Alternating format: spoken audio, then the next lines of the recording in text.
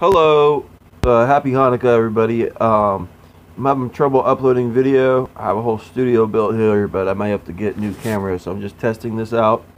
A quick little uh, minute and a half movie discussion. Uh, recently on Netflix, I've rewatched uh, one of my favorite movies from the, uh, this century.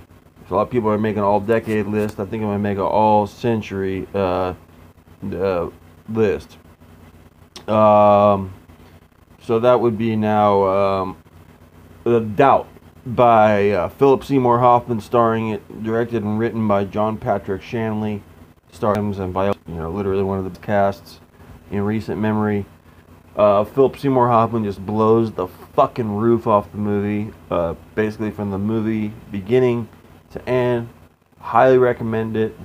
Uh, some would say Daniel Day Lewis is not only the best performance of last decade or the century, you know, for Daniel Plainview will be blood.